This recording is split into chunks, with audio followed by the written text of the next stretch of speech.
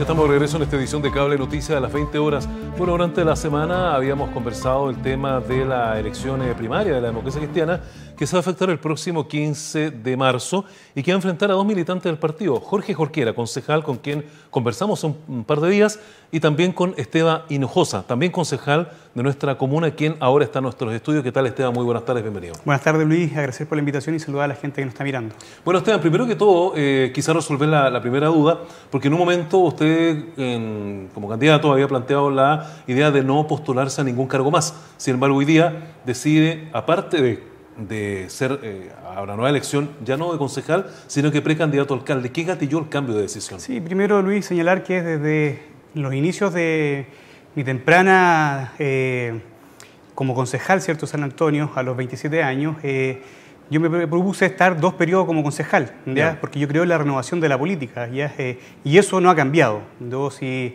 no soy el candidato alcalde de la democracia cristiana, no me voy a repostular nuevamente a concejal. Y eso no ha cambiado porque dos periodos es suficiente, a mi juicio, ¿cierto?, para empezar a renovar y que no siga los mismos de todos los años.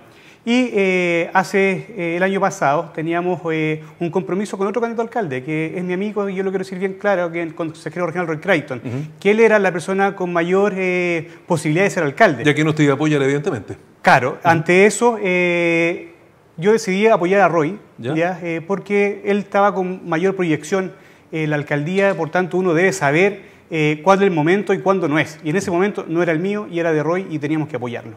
Lamentablemente Roy no pudo ser candidato a alcalde, lo conversamos con su equipo, con mi equipo, con muchos dirigentes y optamos cierto por inscribir nuestra candidatura. Esa es la decisión final. Por tanto, ahora creemos cierto firmemente que podemos ser una alternativa seria para ganar la alcaldía en octubre eh, de este año. Claro, hay que ganar la primaria primero, obviamente. Y en ese aspecto me gustaría un poco saber, eh, concejal Hinojosa, eh, de producirse la primera, que sabemos que una primera abierta en la cual pueden participar militantes demócratas cristianos y gente independiente, no afiliada a partido político, ¿por qué deberían elegirlo usted y no al concejal cualquiera? ¿Qué marca la diferencia? Bueno, con Jorge, cierto, hemos tenido una muy buena relación en el Consejo Municipal.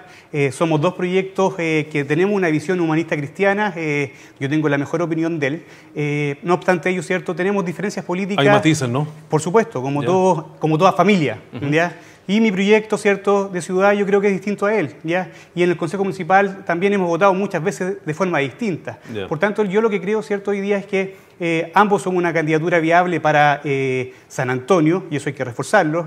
La democracia cristiana tiene dos buenos candidatos en este caso, pero tenemos matices y yo creo que una ciudad que merece una renovación en la política y también merece tener eh, un alcalde con una mayor proyección y que proyecta a San Antonio no solamente a cuatro años, sino más bien a, en el futuro. y ante eso tenemos distintos programas. ¿Y desafíos, por ejemplo, que tendría usted que enfrentar o que le interesen en caso de ser elegido? Sí, hay desafíos importantes. Primero, nos vamos a enfocar en tres desafíos sumamente importantes. Uno, que es la salud municipal. Ya vamos a trabajar en la salud municipal. Eh, como nunca antes se ha visto en San Antonio.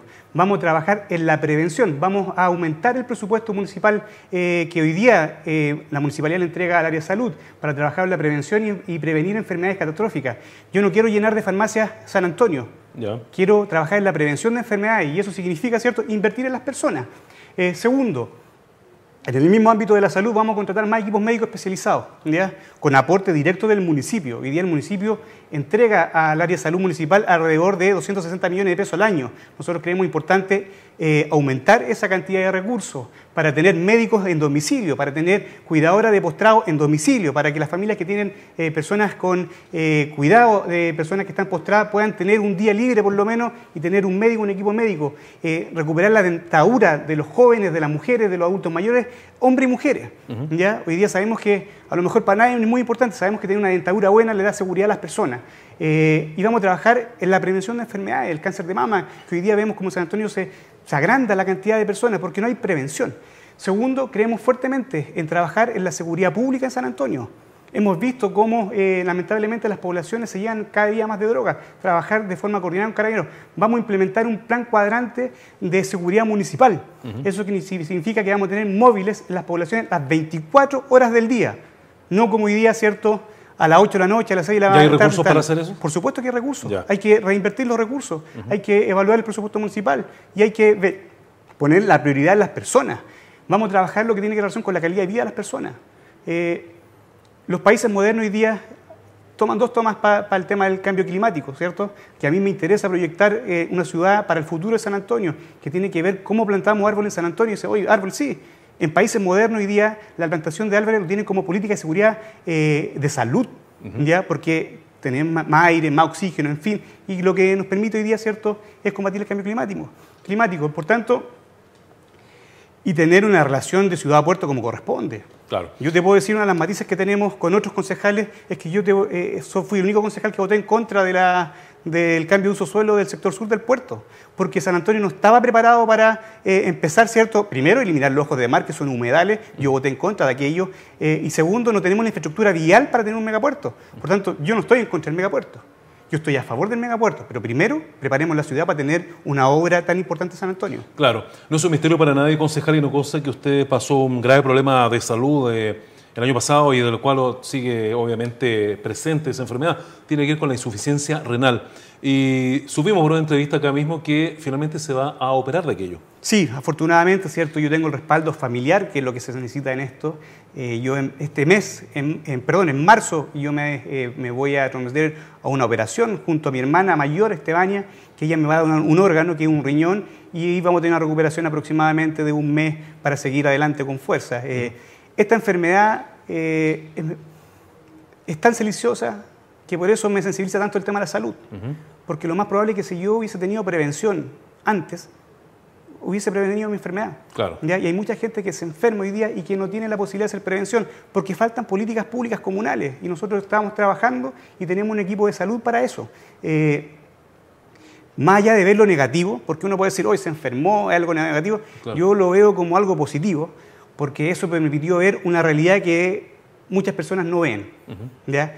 Que la realidad de la salud en San Antonio es miserable. A mí me toca ver mis compañeros de diálisis que no tienen muchos, en algunos casos, ni recursos ni para movilizarse, Luis.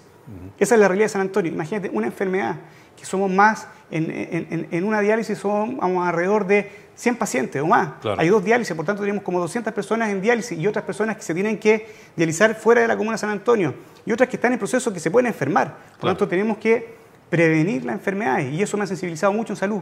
Y, y eso me da un cambio de, las otras prioridades que tiene uno. O sea, cambiaron las prioridades, absolutamente. Por supuesto que cambian. Hoy día, si no tienes salud, no eres nadie. Claro.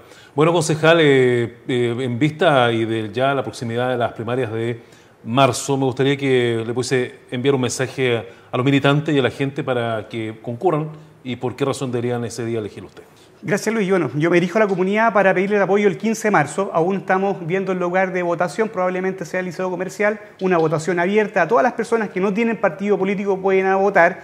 Yo lo invito a, cambiar el resto de San Antonio, a hacer una comuna mucho más humana, en donde los recursos sean invertidos en las personas.